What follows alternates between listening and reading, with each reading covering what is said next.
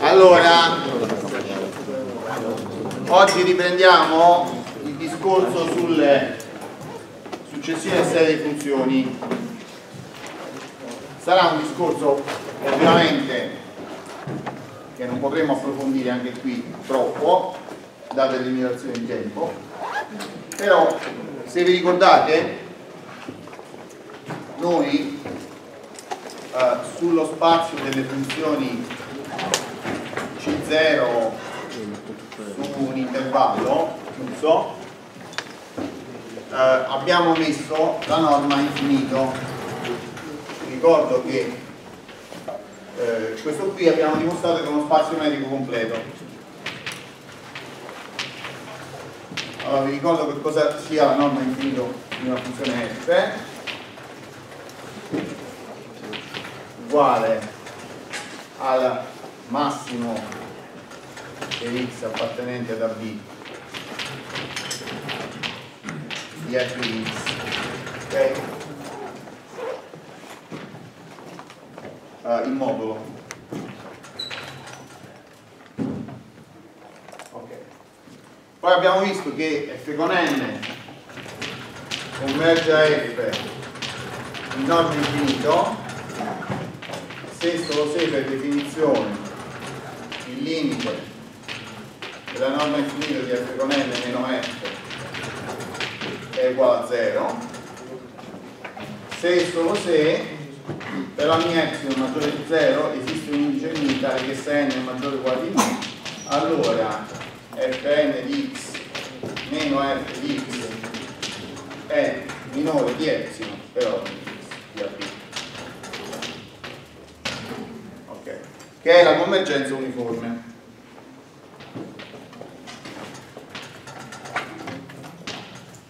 Allora, vi ricordo che abbiamo pure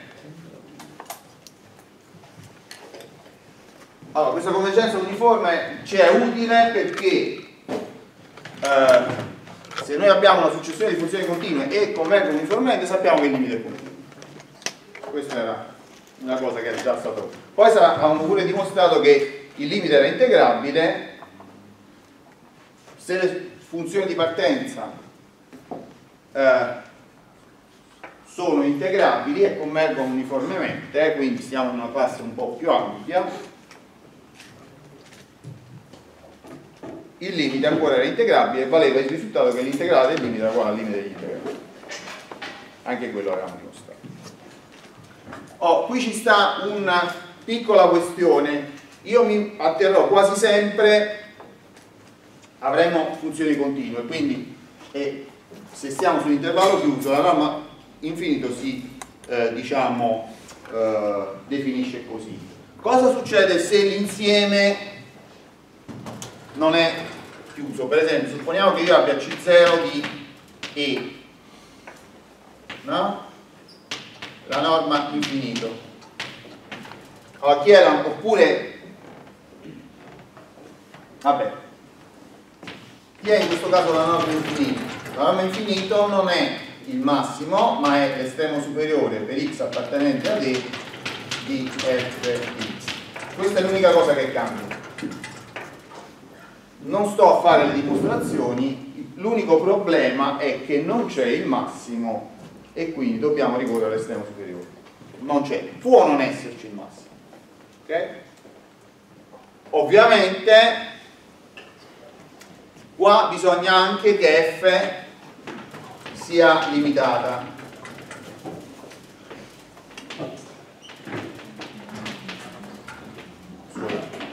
Perché per esempio supponiamo di avere la funzione 1 su x. Questa è c0 sull'intervallo 0 più infinito per esempio. Però se andiamo a fare l'estremo superiore viene più infinito. E allora una norma non può fare più infinito. Quindi in quel caso dobbiamo vedete la cosa si complica leggermente invece del massimo dobbiamo prendere l'estremo superiore dobbiamo supporre che questo estremo superiore sia finito ma sono tutti dettagli tecnici. Quindi noi 99% ci mettiamo su intervalli chiusi così evitiamo la, la, la situazione. Però non è che non si, può, non si può fare si può fare benissimo. Anche qui. Rimane una norma lo spazio metrico rimane completo funziona. Ok? o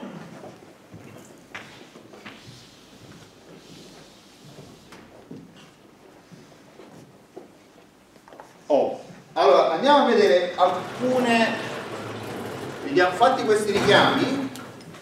Andiamo a vedere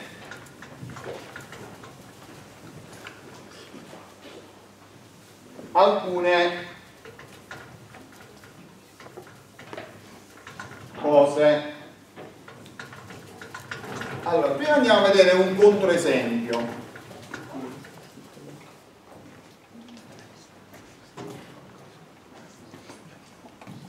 allora prendiamo questo controesempio qui. Poi vediamo di che cosa è il controesempio. Allora prendiamo l'esempio.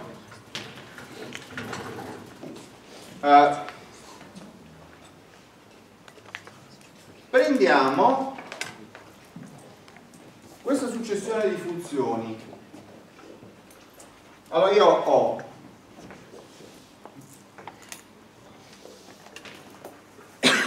sull'intervallo meno 1 1 ho la funzione valore assoluto di x ok?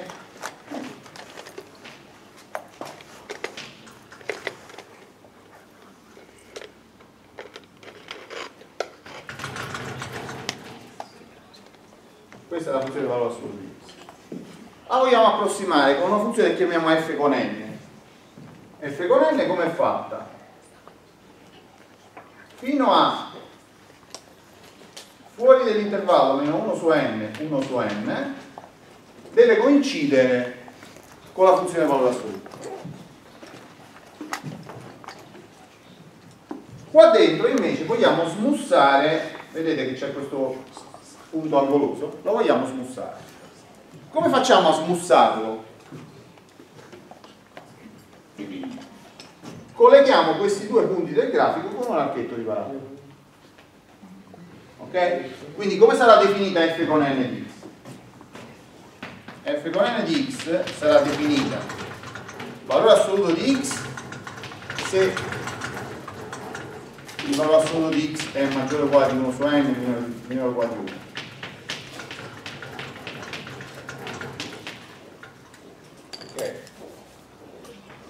e sarà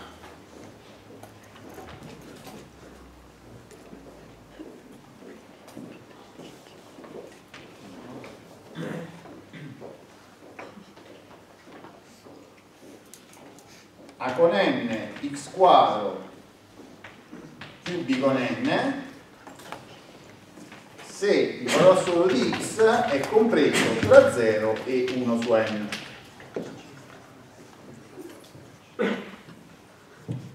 Quindi vedete che qua si comporta come una parabola. Perché non c'è il termine con la x? È chiaro, perché la, questa è simmetrica rispetto, deve, il grafico deve essere simmetrico e quindi deve essere, la funzione deve essere pari, il termine con la x non c'è. Però qui abbiamo una, una certa scelta, possiamo scegliere sia con n che b con n. Allora, come li scegliamo con n e b con n? Li scegliamo in questo modo noi vogliamo per esempio che fn di 1 su n deve fare 1 su n mm? perché? perché a destra fa 1 su n ma anche a sinistra deve fare 1 su n quindi vedete qua c'è una definizione che io in un caso ho dato doppia se, se, se x è uguale a 1 su n qui c'ho 1 su n e anche qua vedete ci ho messo uguale perché? perché voglio che la funzione sia continua quindi i due valori coincidono. Quindi, andando a scrivere a n fratto n quadro più b con n, perché sostituisco 1 su n al posto di x, abbiamo questa equazione. Però in effetti qui di incognite ce ne sono due, quindi io posso imporre un'ulteriore condizione per ricavare con n e B con n. E quale condizione voglio imporre? La condizione che voglio imporre è che questa eh, smussatura, non so come, se il termine è corretto in italiano, eh, sia anche di classe, diciamo la funzione f con n sia anche di classe c con 1. Ma per essere di, di, classe c con 1 E che cosa bisogna fare? Bisogna fare la derivata di f con n nel punto 1 su n. Cioè, è chiaro che fuori di... se non stiamo in questo punto qui, la funzione è c con 1, per quale motivo? E qua è una, il grafico è una retta, qua il grafico è una retta, quindi qua la derivata vale 1, qua la derivata vale meno 1, qua la derivata quanto vale?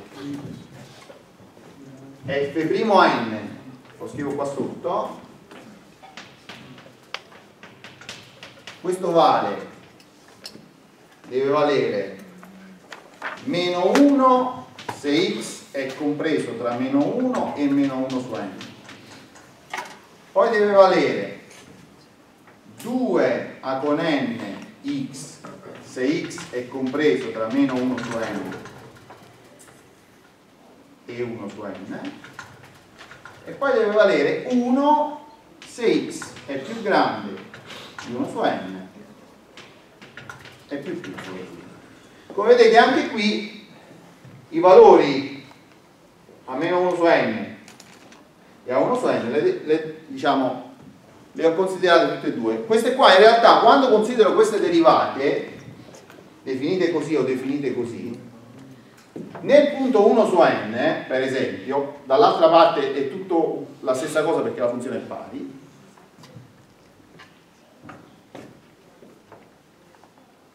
in realtà noi per verificare che la funzione sia derivabile nel punto 1 su n ci basta verificare che queste derivate qui nel punto 1 su n, questi valori qua, siano uguali. Perché? in realtà quei valori non sono la derivata a priori, perché la funzione potrebbe avere là un punto angoloso, no, non essere derivata.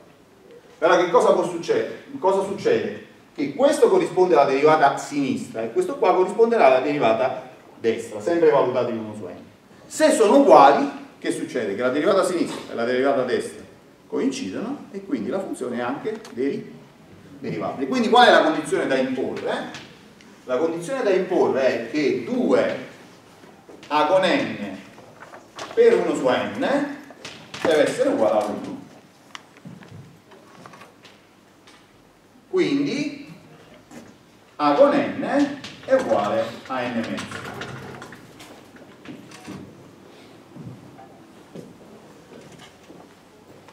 ma allora andando a sostituire qua quanto mi viene? sia con n uguale a n mezzi, qua mi viene 1 su 2n più b con n che deve fare 1 su n. Beh, allora è facile perché io porto questo dall'altra parte, faccio la sottrazione e trovo che b con n deve fare 1 su 2n. Quindi, ripeto, se io metto qua n mezzi e 1 su 2n, qua ci metto 2a con n che vale n. Vedete che tutto funziona. Perché? allora la funzione vale il valore assoluto di x fuori dell'intervallo meno 1 su n e 1 su n. Vale la parabola all'interno dell'intervallo meno 1 su n e 1 su n. Se ci metto x uguale 1 su n qua quando mi viene 1 su 2n più 1 su 2n che fa 1 su n e o prendo questa definizione o prendo questa definizione funziona lo stesso se ci metto meno 1 su n è la stessa cosa perché qua quando elevo al quadrato meno 1 su n il segno sparisce quindi viene 1 su n il valore assoluto di meno 1 su n pure fa 1 su n quindi le cose funzionano sia nel punto meno 1 su n sia nel punto 1 su n andiamo a vedere per le derivate le derivate qua vale meno 1 qua vale 1 e nel punto 1 su n questa nx quanto vale? nel punto 1 su 1 su n vale 1 e il punto meno 1 su n vale meno 1 come vedete anche qui le tre definizioni si accordano perfettamente nei punti dove la definizione cambia dove c'è il salto da una definizione all'altra questo che cosa mi dice? mi dice che questa successione di funzioni f con n di che classe è secondo voi? perché abbiamo fatto tutta questa fatica? è C1 ah benissimo perché questa qui è C1 nell'intervallo meno 1 potevo farla pure sull'intervallo meno A ok? cioè non è importante il fatto che eh, gli estremi siano meno 1 e 1, potevo prendere meno 2, 2, meno 3, 3. Ok? Ora, a chi converge questa successione di funzioni? Cominciamo a vedere la convergenza puntuale.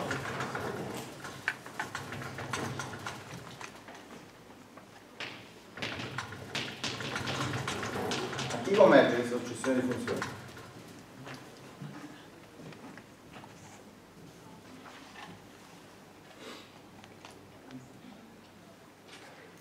Allora, quando n tende a infinito, che succede? Questo intervallo si, si riduce. Quindi, se io mi metto in un punto x, mettiamo, cominciamo a vedere un punto x diverso da 0, da un certo n in poi, che succederà? Che la successione coinciderà col valore asso, assoluto. Quindi a chi converge? A chi? Al valore assoluto e nel punto 0 nel punto 0 è facile perché vale sempre 1 su 2n 1 su 2n per n tende in via tende a 0 il valore assoluto di 0 fa 0 quindi questa tende al valore assoluto. Puntualmente. Però io dico fn di x meno valore assoluto di x questa è f di x no? Beh,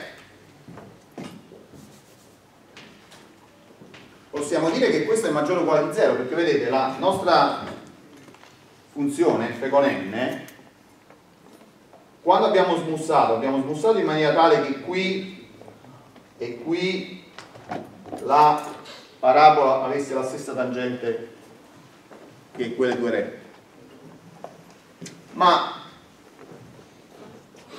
è chiaro, se non vi fate l'esercizio di analisi 1, che il grafico della parabola qui sta al di sopra di quello delle due teste. Quindi quando vado a fare la differenza, questa differenza è maggiore o uguale a 0. Ok? Ma è minore o uguale di quanto? Se voi andate a fare la differenza tra f con n ed x, per esempio a destra, dov'è il massimo della differenza secondo voi? Dov'è che questi due grafici in?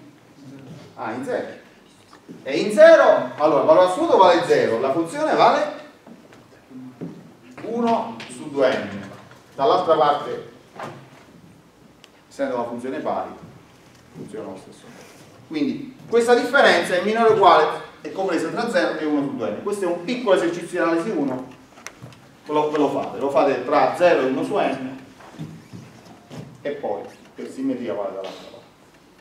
Se non volete fare l'esercizio potete anche dire, volete ottenere una, una stima più, più rozza, dite la funzione, la, la, la parabola vale al massimo 1 eh, su n, quest'altra vale al massimo 1 su n, Mm, stimate la differenza con la somma dei moduli e ottenete invece di ottenere 1 su 2 ne ottenete 2 su n. Comunque una cosa che tende quando n tende infinito a quando tende a 0 e se ci metto il valore assoluto cambia qualcosa.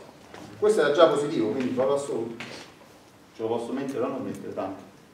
Non cambia nulla. Quindi se io vado a fare eh, ma questo era vero, dove era vero? Solo sull'intervallo meno 1 su n 1 su n, era vero dappertutto perché fuori di un intervallo questa differenza addirittura vale 0. Quindi se io vado a fare la norma infinito di fn di x meno x sull'intervallo meno 1 1 questa norma infinito quanto vale? Vale esattamente 1 su 2n perché il massimo della differenza si otteneva in 0 e tende a 0 che vuol dire che la convergenza era anche uni, uniforme quindi cosa abbiamo trovato? Quindi questa qua ci posso scrivere che ci converge in norma infinita cioè ci converge uniforme a, perché questo è un controesempio cosa contraddice? Allora, vi ricordate, noi abbiamo dimostrato un teorema che se le funzioni sono continue, abbiamo la convergenza uniforme, il limite è continuo. Quali funzioni sono? C1. Il limite è uniforme. Il limite è C1? No.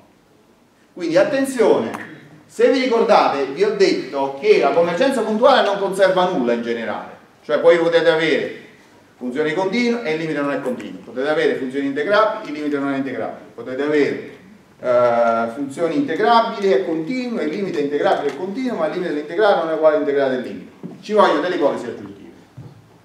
Però se avete le funzioni continue e il limite uniforme, il limite è continuo. Ma se avete le funzioni C1 e il limite è uniforme, non è detto che il limite sia in questo caso dimostra che. Allora se volessimo il limite C1 questo non dimostro nulla ma giusto per farvi capire cosa si dovrebbe fare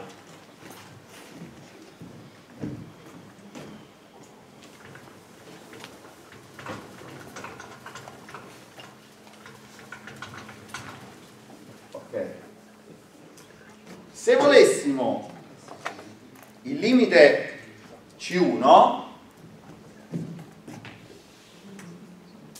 allora dovremmo una funzione C1 di AB supponiamo che f sia C1 di AB allora potremmo andare a definire un'altra norma che non si chiama infinito e basta si chiamerebbe 1 infinito chi è questa norma? questa norma è il massimo di x appartenente ad AB di f di x più il massimo di x appartenente ad AB di f' di x cioè sarebbe questa è la norma infinito di f.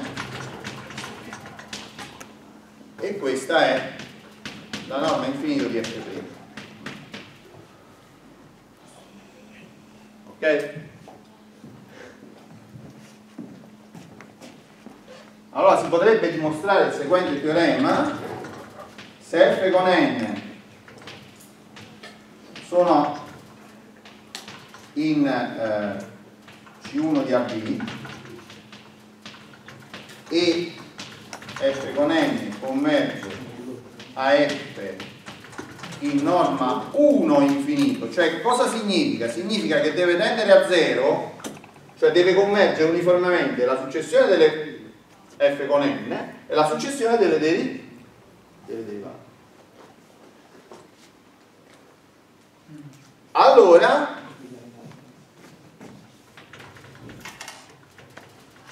anzi questo mi sa che lo dimostriamo. Non in questa forma ma in una forma leggermente diversa. Allora f è di classe C1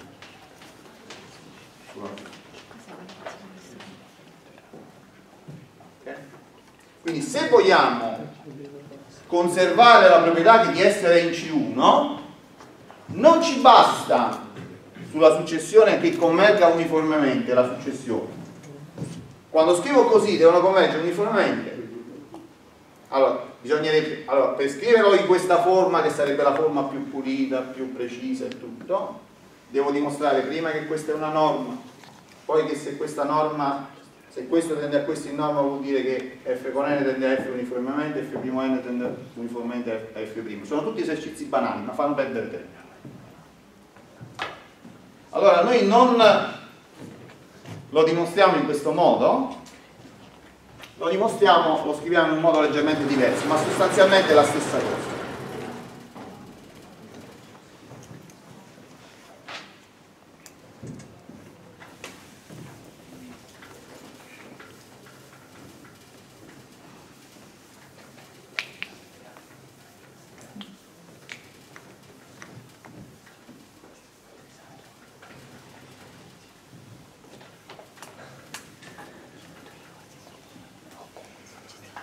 Allora, dimostriamo il seguente teorema.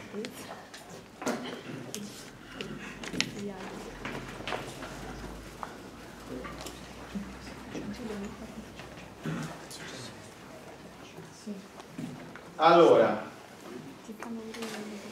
noi sappiamo che f con n è in C1 su un certo intervallo poi sappiamo che f con n f puntualmente in AB poi sappiamo che f'(n) converge a f uniformemente ah, scusate, converge a φ uniformemente. Volevo dire f' ma possiamo supporre che converga a φ in AB Okay? Quindi noi abbiamo questa situazione, abbiamo una successione di funzioni C. Le derivate convergono uniformemente a φ. La successione di funzioni converge puntualmente, quindi neanche uniformemente, come ipotesi, a f. Qual è la tesi? f è di classe C1 su AB f' di x uguale f di x però benissimo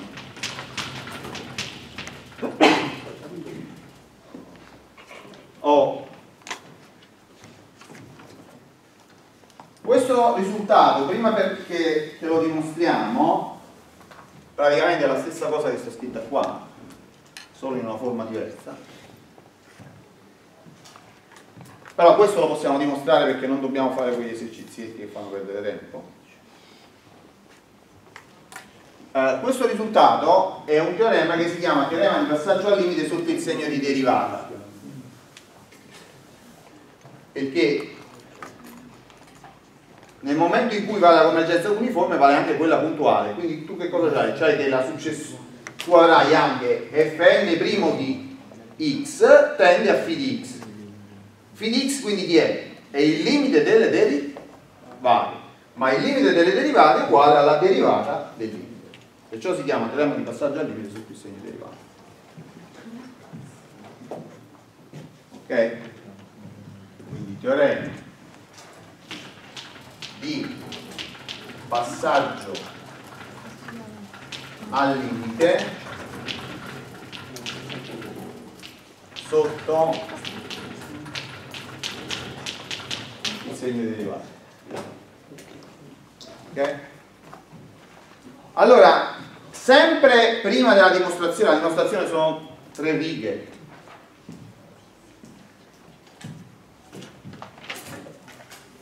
Schematizziamo.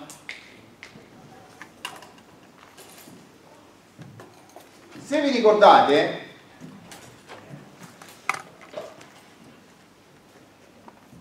io ho una convergenza che è quella puntuale che non conserva quasi nulla molto spesso non conserva nulla. La convergenza uniforme conserva certe proprietà. Uh, per esempio la convergenza uniforme mi fa passare al limite sotto il segno integrato. Però se vi ricordate abbiamo pure detto che quella come ipotesi era pure troppo non ci serviva. Ci serviva che non bastava la convergenza puntuale per passare sotto il segno di integrale, al limite sotto il segno integrale, però ci voleva una convergenza che poi abbiamo detto che si chiama dominata, cioè e abbiamo scritto cosa volesse dire. Quindi la convergenza uniforme è troppo, è pure troppo se vogliamo passare al limite sotto il segno integrale. Si può indebolire un po', però non si può togliere completamente qualche ipotesi. Se lasciamo solo la convergenza puntuale non funziona più. Però qua invece se vogliamo passare alla linea sotto segno di derivata, vedete, non basta. Ci vuole la convergenza uniforme delle derivate. Più la convergenza puntuale della successione di partenza.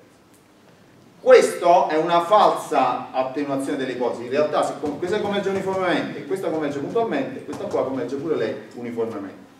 Però, siccome non serve a priori, uno nuovo schema. Però in realtà qua quello che vi serve, quello che c'è in realtà come converge uniformemente questo, converge uniformemente pure questo. Okay. Andiamo quindi a fare la dimostrazione. Allora, noi cosa possiamo scrivere? Possiamo scrivere fn di x meno fn di a, questo è uguale all'integrale tra a e x di f'n di t in dt. Come si chiama questo? Teorema fondamentale del calcolo integrale. La f è c1 e allora si può scrivere così. fn è c1 e allora si può scrivere così. È chiaro? Banale. Uh, adesso facciamo tendere n a infinito. Allora, questo a chi tende? Tende a f di x meno fn, eh, scusate, a f di x meno f di a. Perché? Perché la fn converge a f punto a fn di x tende a f di x, fn di a tende a f di a. E questo a chi tende? Tende all'integrale. Allora, queste sono funzioni continue queste funzioni continue convergono a φ su tutto AB. AX è un intervallo più piccolo di AB. Eh? Ci avete? A, B, AX è contenuto in AB. Quindi se converge uniformemente su tutto AB, ovviamente converge uniformemente anche su intervallo più piccolo. Quindi, applicando il teorema di passaggio a limite sotto il segno integrale, qua cosa mi viene? Integrare il figlio di t eh, scusate, definitivo siccome erano uguali in partenza i limiti il limite fatto a sinistra deve essere anche uguale al limite fatto a destra. Quindi sono uguali anche in AB e allora questo che cosa vuol dire? vuol dire sempre vuol dire che vale questa uguaglianza che f di x meno f di a è l'integrale di questa funzione tra x di questa funzione continua ma l'integrale di una funzione continua è una funzione sempre il problema di, diciamo fondamentale del calcolo integrale. Adesso se io vado a fare f' di x come si fa? f' di x. F' di x uguale f di a più questo. F di a è una costante a 0 la derivata dell'integrale viene f di x perché φ è una funzione continua e, e l'abbiamo dimostrato, no? nell'altra implicazione del teorema fondamentale del calcolo integrale. Quindi questo mi dice che f' di x è uguale a φ di x. È il teorema.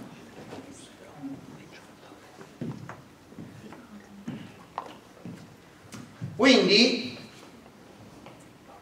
tutto questo ambaradam, tutto questo discorso, a che cosa è servito? È servito a dire che guardate che su uno stesso spazio di norme ce ne stanno a iosa bisogna scegliere la norma che ci serve per fare i conti. Per esempio prendiamo lo spazio delle funzioni C1 ovviamente se io prendo lo spazio delle funzioni continue questa norma qua, la norma 1 infinito, non ce la posso mettere perché la derivata magari non c'è. Però se prendo lo spazio C1 che è più piccolo, se la funzione è C1 ci posso mettere la norma infinito ma anche la norma 1 infinito. Cioè posso aggiungere alla norma della, della, della funzione anche la norma infinito della derivata. E diventa una norma diversa. È una norma. Ovviamente più la norma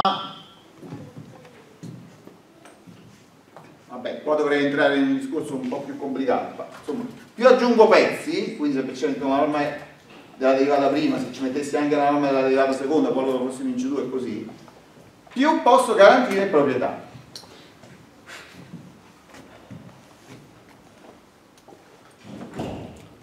Uh,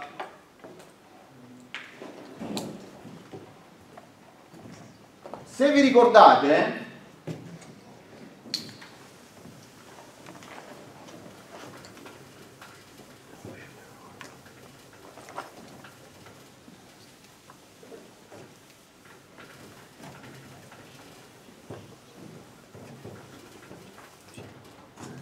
in voglio completare un attimo questo discorso perché voglio che sia chiaro il rapporto tra le cose prendiamo una funzione integrabile soltanto su AB ok. Qua posso mettere per esempio la norma L2 chi era la norma L2? invece della norma infinita. Questa qua l'abbiamo pure vista abbiamo accennata se vi ricordate come si fa?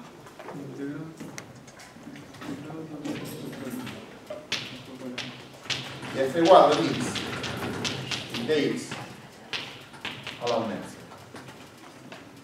questa, questa qui è una norma, lo era sullo spazio delle funzioni continue, lo ha anche su questo spazio. Le funzioni di eh, R a B eh, sono anche limitate, quindi anche f quadro è limitata ed è integrabile secondo me.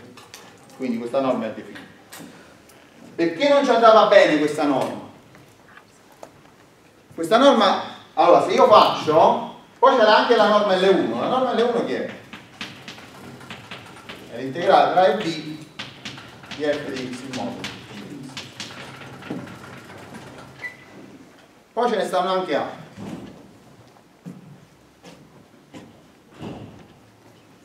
allora questa qua è una norma per Cauchy Schwarz questa qua è una norma fa dall'esercizio direttamente è facile.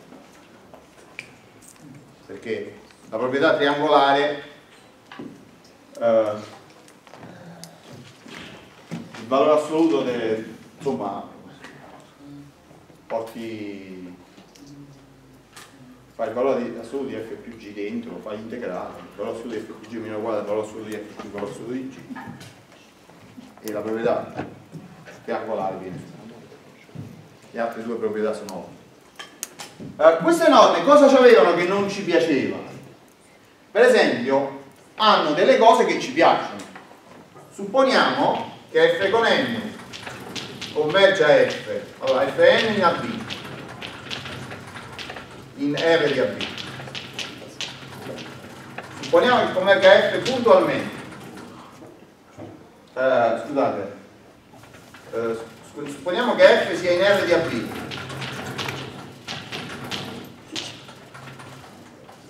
e supponiamo che F con N converga F in norma L1 che vuol dire questo che vuol dire per definizione vuol dire che l'integrale tra e B di f con n meno f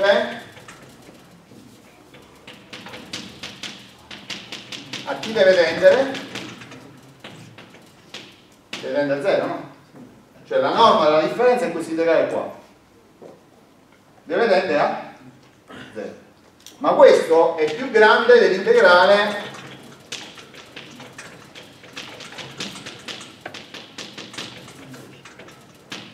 se il valore assoluto lo metto fuori che però è più grande di 0 quindi questo tende a 0 questo vale 0 per il teorema due carabinieri anche questo tende a. Quindi questo mi implica che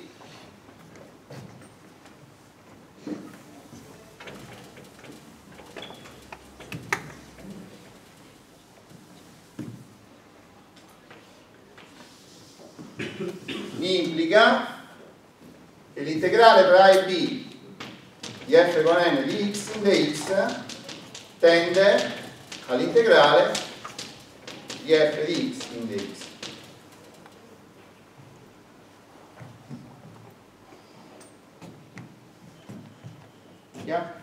Che cos'è? Non è il passaggio al limite sotto il segno di integrale. Allora, f con n converge a f in L1, l'integrale del limite è uguale al limite dell'integrale.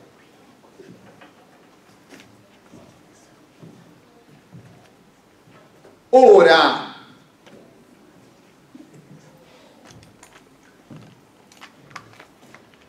cosa dice ma allora perché non hai usato la norma L1 è pure più facile.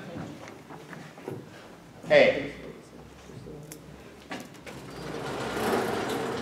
c'è un piccolo problema qui ho dovuto supporre che il limite fosse integrabile. Prima in generale non lo è. Integrabile secondo Riemann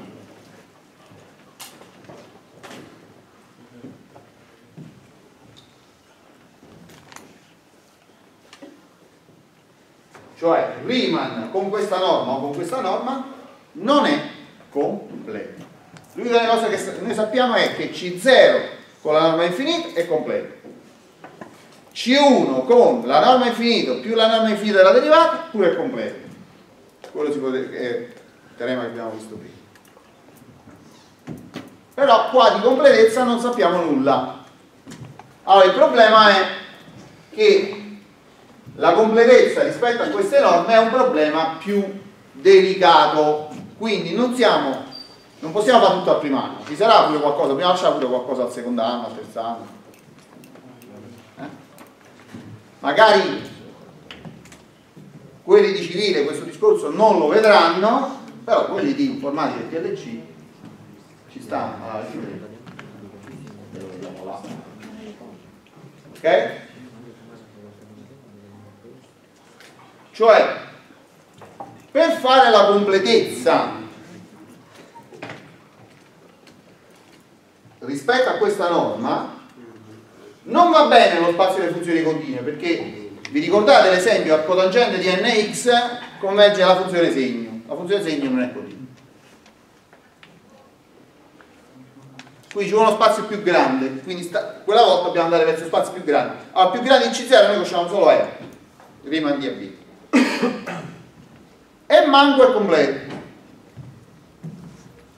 Allora qual è il discorso? Che dovremmo andare a studiare un altro integrale che si chiama integrale di Lebesgue e allora diventa così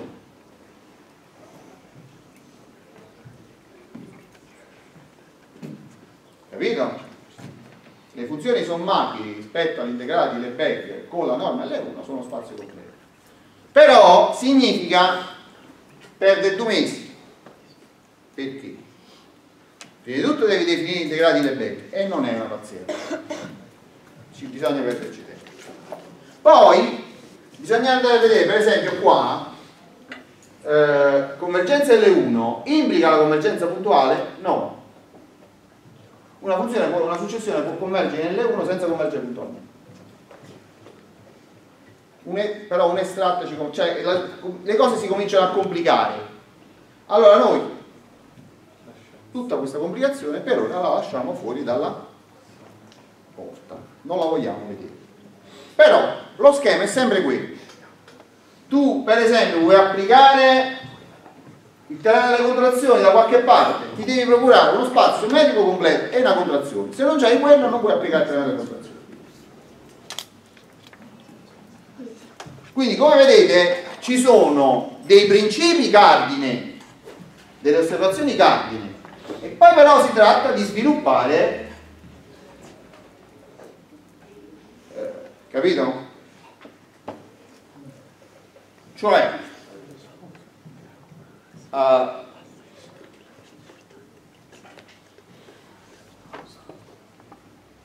noi abbiamo potuto fare un paio di teoremi piuttosto semplici sulla convergenza uniforme, sulla convergenza, diciamo, il teorema di passaggio al limite sotto il segno integrale per la convergenza uniforme e quello di passaggio al limite sotto il segno della derivata quando abbiamo la convergenza uniforme della successione delle derivate.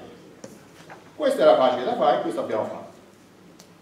Però ci sono altre norme per, per il teorema di passaggio limite sotto il segno integrale basta la norma L1 anche la norma L2 va bene osservate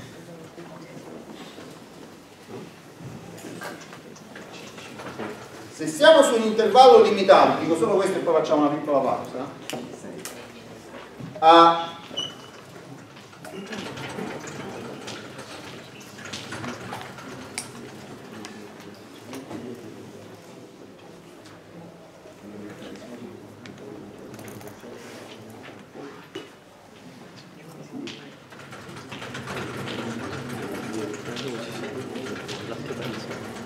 Allora, questa qui prendete questo allora prendete, supponiamo che tutte le funzioni siano continue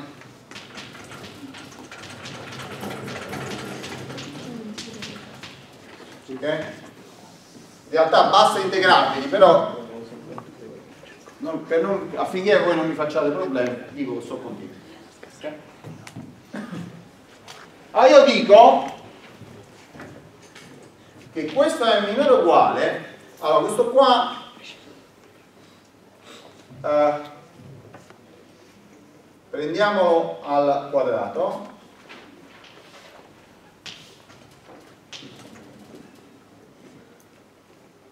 eh, aspettate un attimo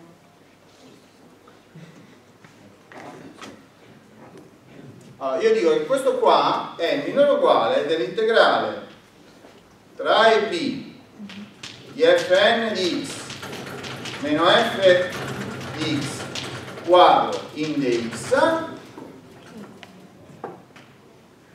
per meno a perché? allora questa vi ricordate che l'integrale di fg